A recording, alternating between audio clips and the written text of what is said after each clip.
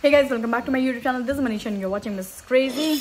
हम लोग खा रहे हैं मफिन और सागर यहाँ पे बैठ के काम कर रहा है। आज से इसका काम शुरू हो गया है। और आज इसका यॉन्डर कार्ड आया है। इस कार्ड के बारे में बता दें आपको। जब आप मूव करते हो किसी अनदर कंट्री तो फिर आप जब यहाँ आते हो तो आपका, आपके पास में कुछ क्रेडिट हिस्ट्री तो होती नहीं है, जिसकी वजह से यू नो आपको क्रेडिट कार्ड जो होता है, वो अच्छा अच्छे लिमिट का नहीं मिल पाता है। तो ये एक स्टार्टअप है यॉन्डर जहाँ पे क्रेडिट हिस्ट्री के अलावा वो आपके you know salary and all ये सब भी देख करके एक decent you know decent credit वाला आपको कार्ड दे देते हैं। क्योंकि आप अगर ऐसे आओगे और आपकी यहाँ पे यू you नो know, आप किसी भी कंट्री में जाओगे किसी का भी नहीं पता लेकिन हम यूके का बता रहे हैं कि आप जब यहाँ पे मूव करोगे ना तो मतलब हज़ार से ज़्यादा का आपको नहीं हम्म, मिलेगा। यूजुअली नहीं मिलता है हाँ। मतलब हम लोगों को मतलब नहीं मिला। नहीं नहीं इन जनरल हज़ार पंद्रह सौ हाँ तो फिर उस उस क्राइसिस से बचने के लिए फिर हम लोगों ने यॉन्डर यॉन्डर कार्ड वो किया है। आप इसके बारे में इस स्टार्टअप के बारे में पढ़ सकते हो और आप चाहो तो मंगा सकते हो ये इसका कार्ड और ये मेटालिक कार्ड है। सो कूल दिस इज़ ये मेरा पहला और जिसको नहीं पता है सबको ये पता लग जाएगा कि सागर का पूरा नाम सागर अपराजित श्रीवास्तव है। हमको खुद को नहीं पता था। शादी के बाद हमको पता लगा कि इसका पूरा नाम सागर अपराजित श्रीवास्तव है। आई डोंट नो कि कहाँ पे हमसे कहीं तो पूछा था सागर अपराजित। मैंने बोला नहीं वो सागर श्रीवास्तव। बोला सागर अपराजित हमको पता नहीं था कि इसका पूरा नाम सागर अपराजित श्रीवास्तव है। And I was like oh my god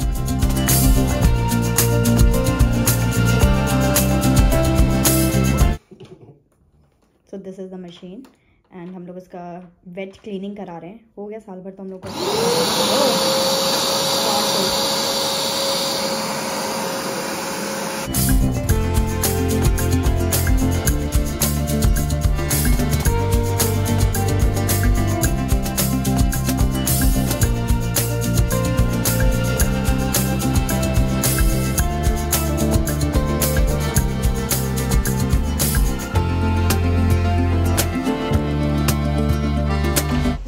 हैं काफ़ी आवाज़ आ रही है। तो बेसिकली क्या हो रहा था ना कि हम लोग को यहाँ रहते हुए एक साल हो गया है। और अब क्या था ना कि जो कार्पेट था ना वो हल्का हल्का ना मुझे थोड़ा सा गंदा सा दिखता था। कितना भी वैक्यूम कर लेते थे तो पर भी अंदर से हमको सेटिस्फैक्शन नहीं होता था। हमको लगता था, गंदा है गंदा है। अब यहाँ जहाँ जहाँ वुडन फ्लोरिंग है, वहाँ पे तो हम पोछा वोछा मार देते थे, है ना? वो क्या कहते हैं वैक्यूम करने के बाद अच्छे से पोछा वोछा लगा देते थे। लेकिन कारपेट को लेकर के ना, मेरे दिमाग में हमेशा वो रहता है कि this is not clean this is not clean तो हम लोग सोचे कि एक बार वेट वॉश करा लेते हैं। तो हम लोग वही सोचे कल। तो कल हम लोगों ने बुलाया था तो हम लोगों ने बाथरूम का भी डीप क्लीन करा लिया। अपने से क्लीन तो करता ही आदमी, लेकिन डीप क्लीन भी हमको ऐसा लगता है टाइम टू टाइम करा लेना चाहिए। और फिर फिर उसके बाद हम लोगों ने इनसे फिर कारपेट के लिए पूछा। तो कारपेट के लिए इन्होंने दोनों रूम का पूछा। फिर पूछा कि बेड हटा के करना है या फिर ऐसे करके।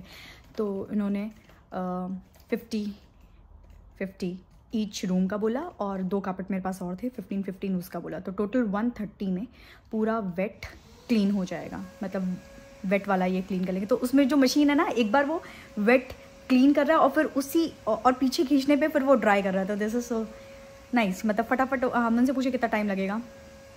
तो बोले थे ऐसा कोई लोड नहीं है, सूख जाएगा जल्दी ही, क्योंकि जो ये मशीन यूज़ कर रहे वो कह रहे थे काफ़ी पावरफुल है तो इतना वेट वेट तुमको लगेगा नहीं।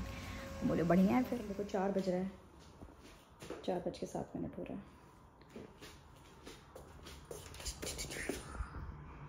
काफ़ी विंडी है बारिश हो रहा है ऐसे ही मौसम है।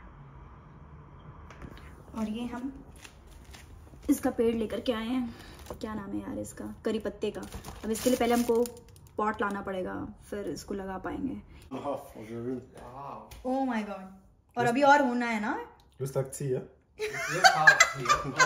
No not interested in this tea वो तो अभी आधा था अभी फिर से होगा। मतलब हमको पानी काला होने वाला है।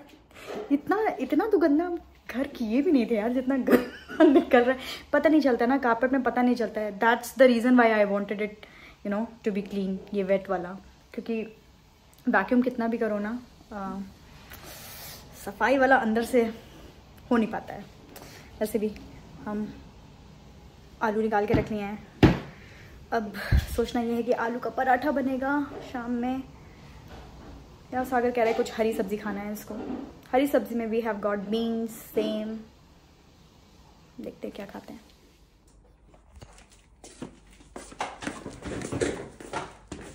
आज एकदम पूरा घर चकाचक हो जाएगा। ठंडा ही ठंडा ही, जल्दी से। उफ। अरे, टीवी के सामने ये रखा गया टीवी नहीं दिख रहा है। गुड मॉर्निंग पीपल एंड आज सुबह सुबह सागर के मैनेजर का क्रिसमस कार्ड आया है। और वो भी दैट टू मतलब एड्रेस भी हैंड रिटन है यार। और जो नोट है ना अंदर कार्ड में वो भी हैंड रिटन है। ये कार्ड है। और ये देखो हैंड रिटन है। सागर एंड छोटी छोटी चीज़ से ना बहुत मतलब मज़ा आ गया। मतलब देख कर क्या सुबह सुबह होता है ना सुबह बन जाना वैसा हो गया है। मतलब हमको तो ऐसे ये जो पर्सनल टच वाली चीज़ें होती है ना वो वैसे भी हमको बहुत अच्छी लगती है। और आज का वेदर सन भी है क्लाउड भी है एंड विंडी भी है ये देखो। हम लोगों को ये निकाल करके आकाश को देना है यार। रोज़ इतना विंड होता है ना कि बाहर जाने का मन ही नहीं करता है।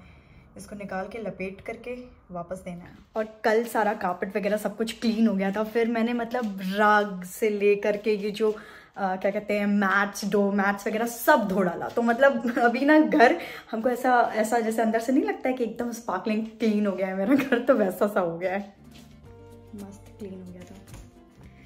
जब क्लीन हो जाता है घर तो पता नहीं हमको बड़ा ही अच्छा सा लगता है। सब एकदम चकाचक हो गया है।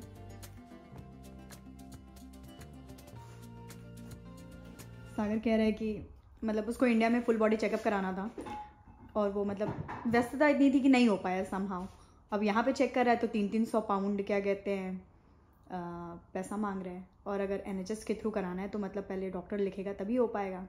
नहीं दो तो चालीस के ऊपर हो तो। ओह ऐसा भी है? के ऊपर प्रिवेंटिव वो है। ओह इज़ इट तो मैं क्या दो सौ पाउंड और लगा के इंडिया जा करके हज़ार रुपये में इंडिया में करा लो फुल बॉडी चेकअप जाओगे? और आज थोड़ा मेरा तबीयत नासाज है।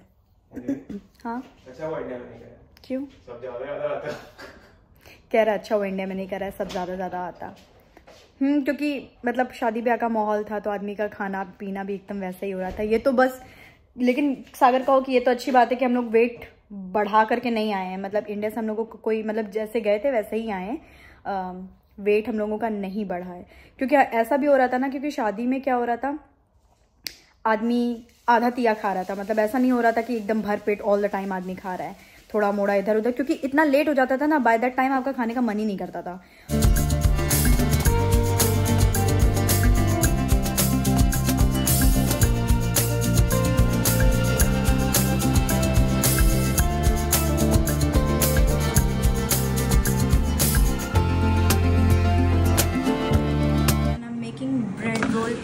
First time एयर फ्रायर में। देखते हैं कैसा है।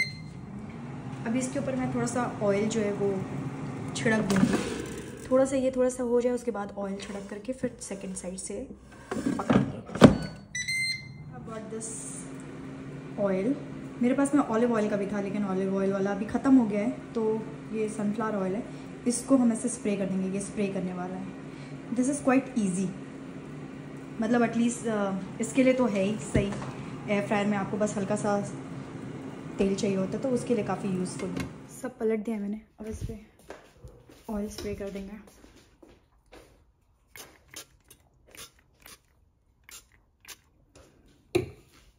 और वापस से लगा देते हैं।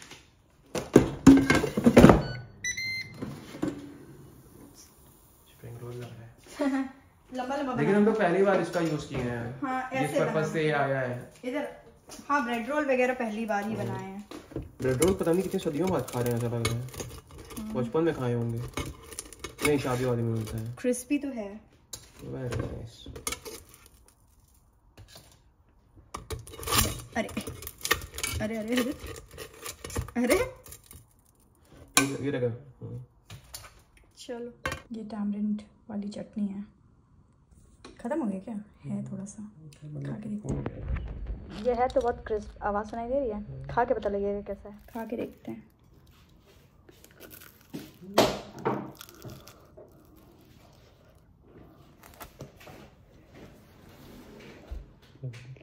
ऑयल डलती ऊपर से?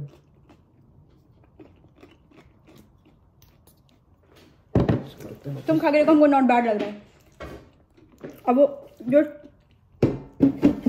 छना हुआ होता है उससे ठीक लग रहा है हमको। क्योंकि थोड़ा गिल्ट कम हो रहा है खाने में। गिल्ट नहीं वो अच्छा नहीं लगता। रोल बचपन नहीं और उसमें अच्छा जब ज़्यादा तेल हो जाता है तो वो अच्छा नहीं लगता है। मुँह में पूरा तेल तेल हो जाता है ना। बहुत कुछ कर सकते हैं हम लोग एयर फ्राई में करते नहीं है। ये हमसे कह रहा था कि बेच दो, इसको इस्तेमाल तो होता नहीं है इसका, बेच दो बेच दो। तो हम क्या नहीं नहीं, रुको ब्रेड रोल बनाते हैं। तो है अच्छा यार, और क्रिस्प आवाज़ भी।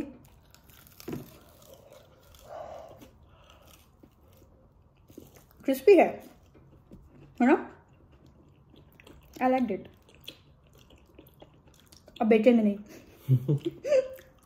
और मैंने ये चिकन स्टॉक से सूप बनाया है विच इज़ डिलिशियस तो अच्छा बन गया है, लेकिन आज खाने के लिए जो सब्ज़ी बना रहे थे, वो बहुत बेकार बनी है। तो अभी पता नहीं, देखते हैं क्या करेंगे। तो यार इसी के साथ इस ब्लॉग को कर देते हैं एंड मिलते हैं नेक्स्ट ब्लॉग में। Children bye bye and take care